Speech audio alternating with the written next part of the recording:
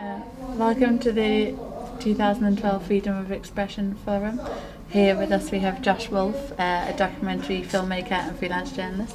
Thank you for your talk, and now we're just going to ask a few questions. Sounds great. So the first one is, um, you're opting for equal protections for students and independent journalists and their professional peers. With this, you're, I guess you're referring to the clashes that you've had. Um, with the proposed equal protections, the border between the two gets very thin, if there remains a, if there remains a border at all. With tools such as mobile phones and cameras and iPads that everyone has, um, does this mean that everybody who spontaneously makes some newsworthy footage with his cell phone is entitled to these equal protections?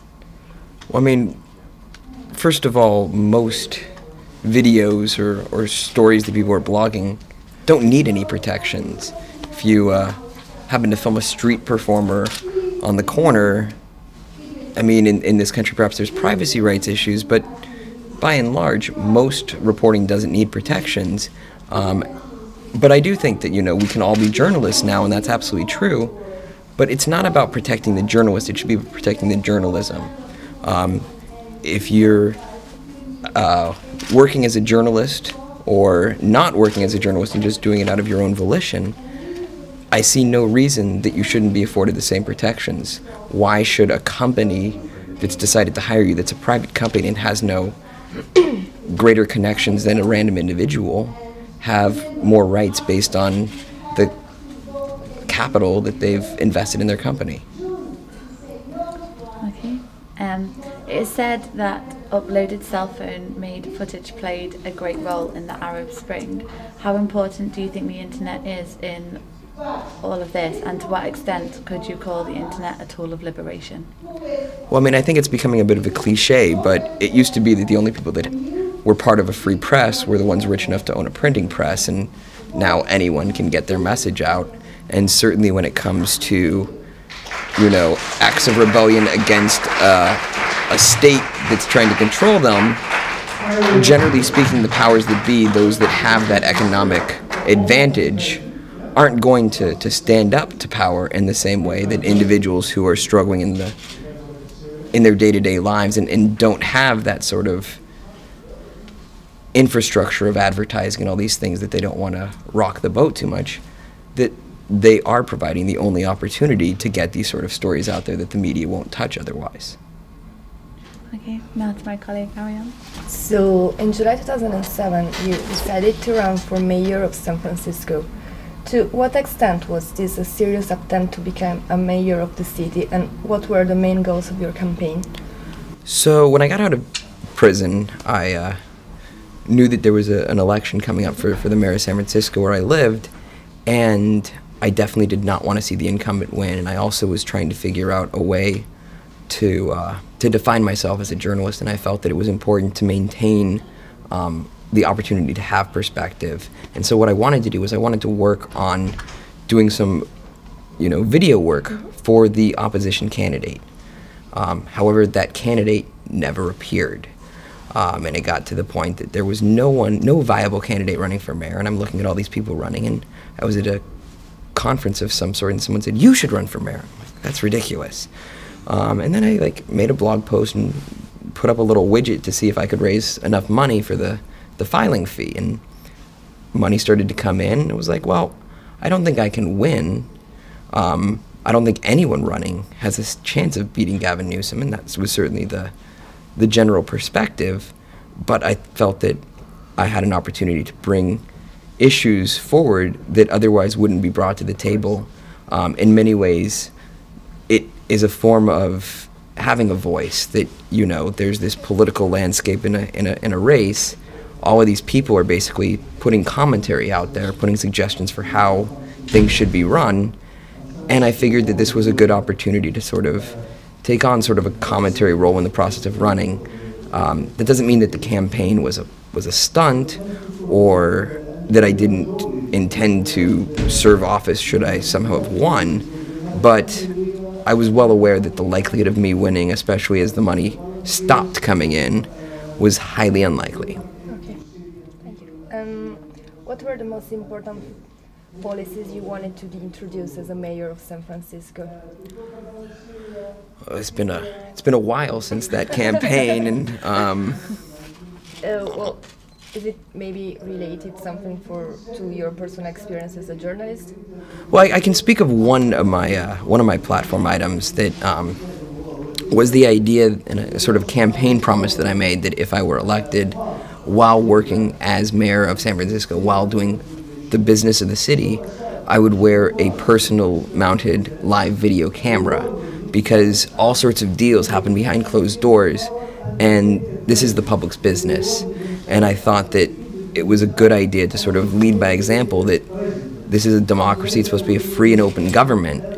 Why why should we find ourselves in a situation where we don't know what the mayor is doing? The mayor was the mayor at the time, who's now the lieutenant governor of California, Gavin Newsom, uh, was rather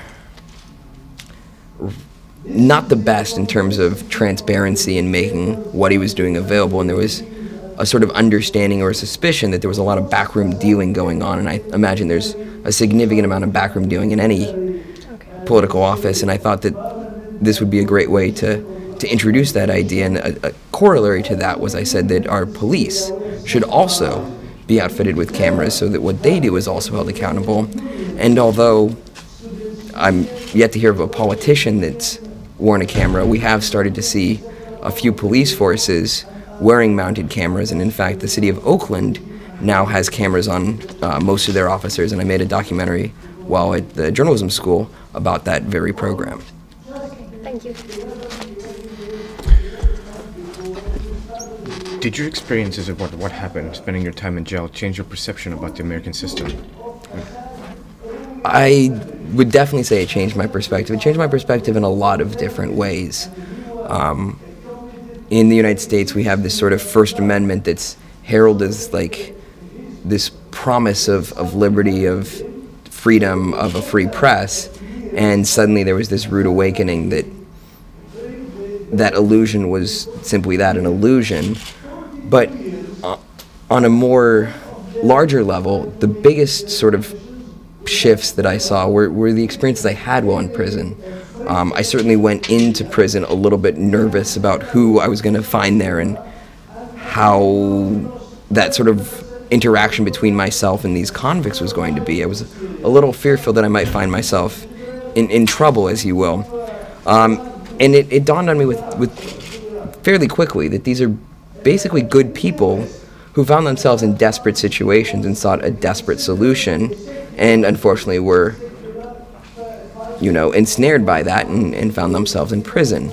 The other realization was that um, of what I what I've coined the 21st uh, 21st century slave trade, and that is that a good chunk of the people in federal prison are there on the crime of illegal reentry, which means that um, previously they they came from another country without documentation, went to America, were arrested or, or found um, to be undocumented, were deported, and then the second time they come back, there's a ch- crime called illegal reentry, which can carry very significant penalties. Usually, uh, it's about two to four years in prison. They're also given a restitution um, that works out to somewhere approximately what they make working at 10 cents an hour, um, working in the prisons. So basically, we have these people that spend two to four years having to do work for the government for 10 cents an hour, maybe.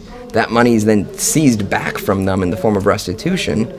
And unlike the, the, the original slave system that we had in America, where you had this situation where slaves would get old and no longer be, be productive, and there was this sort of dilemma that, that, that was around that situation.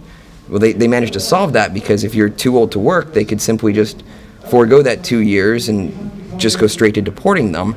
But basically, we have this situation of forced labor of undocumented immigrants whose only crime is crossing an imaginary line. Occupy Washington is coming up in a month. Um, what are your hopes for this movement that's going to happen? And do you have any plans for it? Um, I mean, I think that the Occupy movement throughout both the country and the world is is is important to, to to watch. We haven't seen anything like this before. Certainly, in Oakland, where I was doing a lot of filming of, of the Occupy, as well as San Francisco, I saw a sort of new stage of protest that was quite interesting to see. I haven't been able to, to follow up on what these plans are for the, this next round of Occupy Washington. Obviously, there had been an Occupy camp in Washington for quite some time prior to this planned convergence, and previously there was an Occupy, um, like essentially like a lobbying day where, where people came to Washington to, to speak out uh, for the Occupy movement and their concerns. So I see Occupy as a localized movement.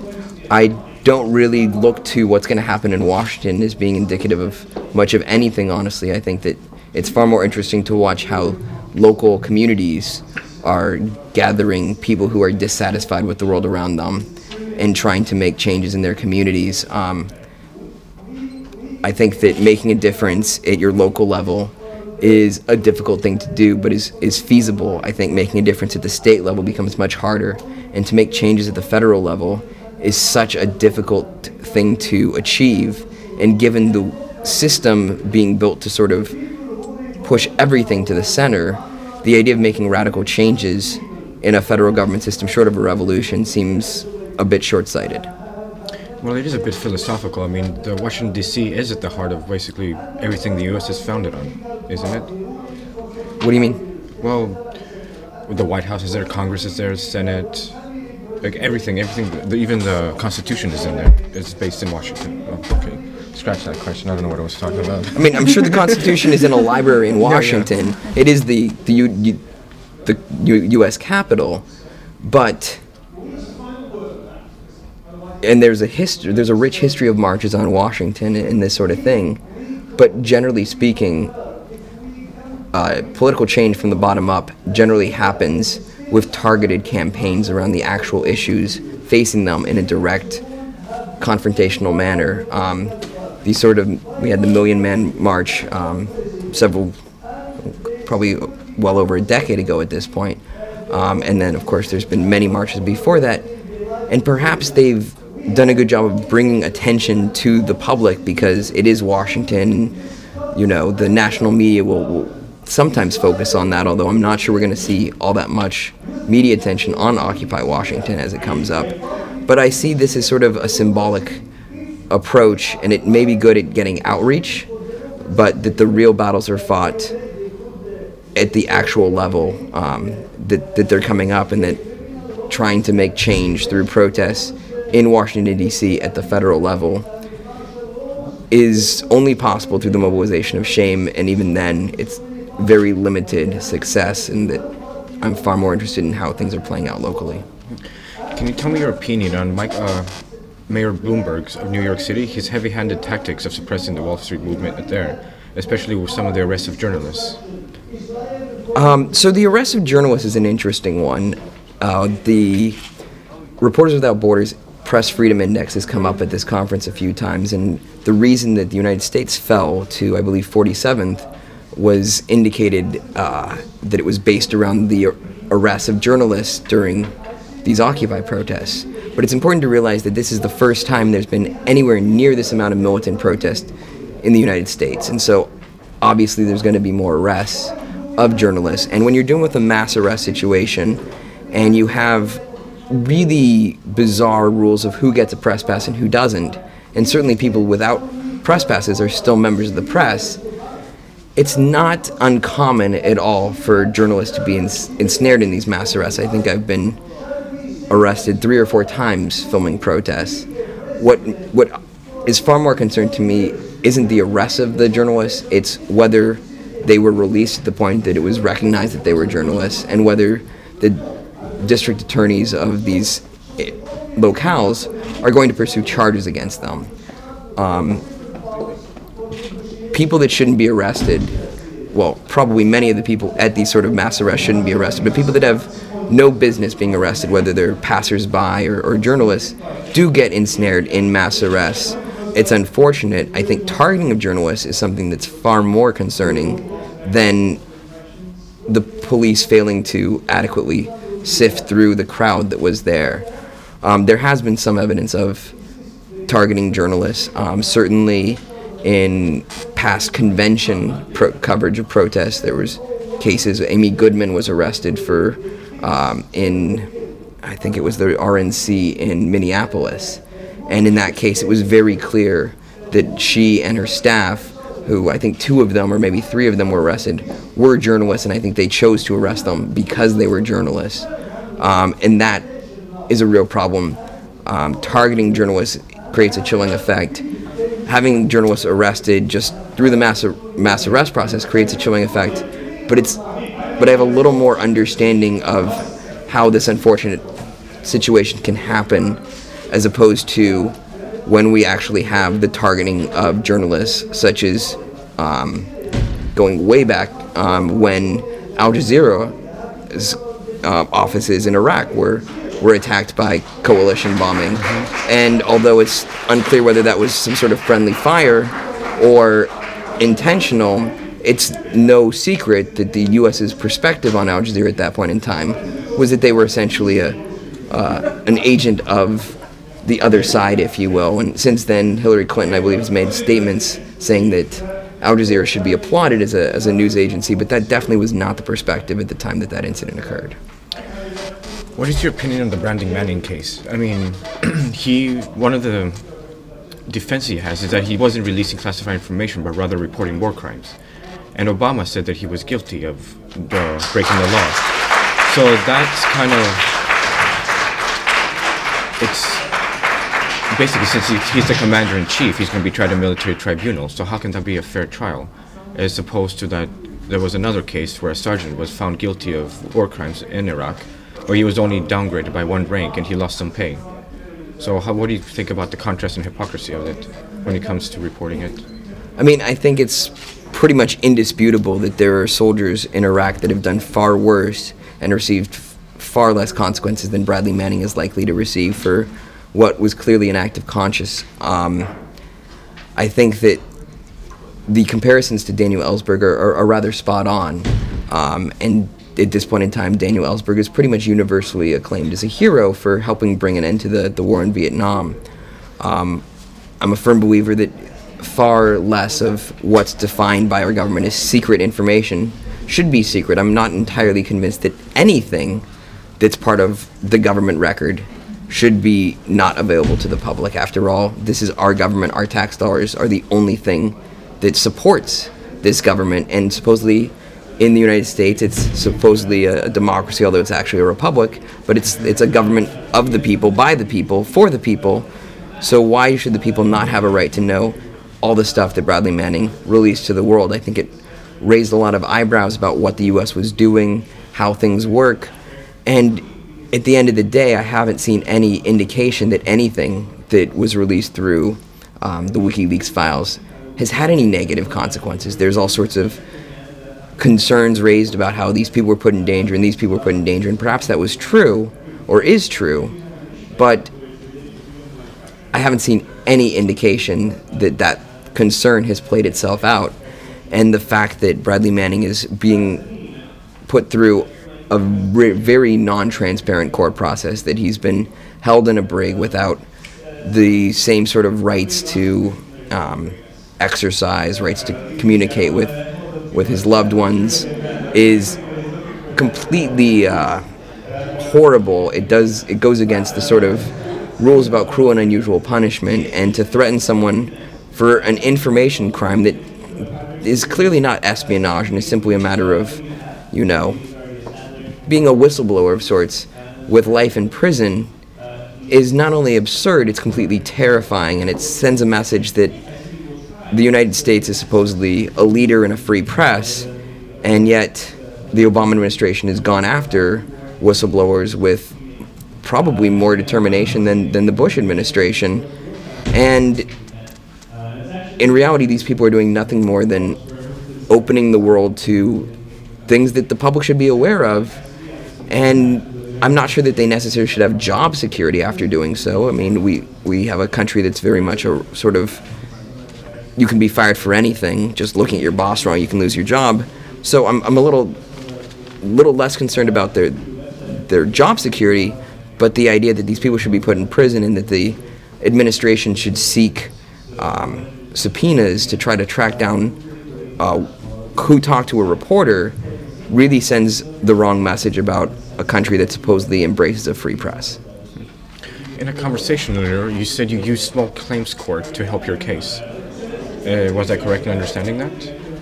Uh, I don't know whether "help my case" is the right word in retrospect, but there, uh, and that that's pertaining to, to what I went through in, in, in, in school. So while I was at UC Berkeley, I found myself ensnared in a situation somewhat similar to my jailing situation, where I filmed a protest on campus um, from in, from behind a barricaded student building, and the, the school threatened to suspend me for it.